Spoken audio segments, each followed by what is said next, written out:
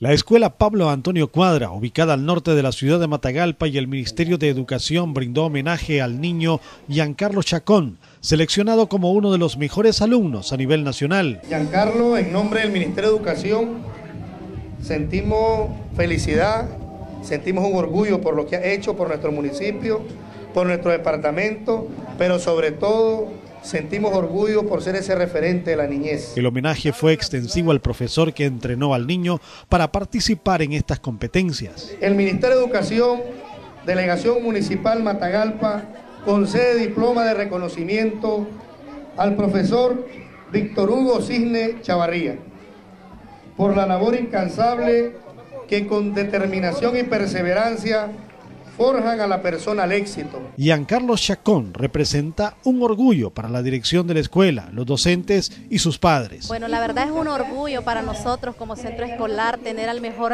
estudiante a nivel nacional. Nunca demostró cansancio, siempre tenía el ánimo de, de salir adelante. Realmente fue un proceso bastante, pues, de que teníamos que llevar un rol bien hecho. Fue un orgullo para, para, la, para, para la familia, para, el, para, la escuela, para la escuela, para el municipio, para el departamento, llegar a adquirir ese primer lugar. La escuela Pablo Antonio Cuadra, físicamente pequeña, pero hoy es enorme intelectualmente hablando y en el aprendizaje que aquí se cultiva. En medio de ese orgullo, el propio homenajeado dijo sentirse contento con lo que han hecho para premiar su labor. Bien, siento algo que nunca había sentido en mi vida. El niño está completamente seguro de lo que quiere, ahora pensando en terminar su sexto grado con miras a la secundaria. Así tendré más tiempo para, para que me enseñen en estos años que vayan transcurriendo, así aprenderé más. Para el Ministerio de Educación es un triunfo compartido que le devuelve a Matagalpa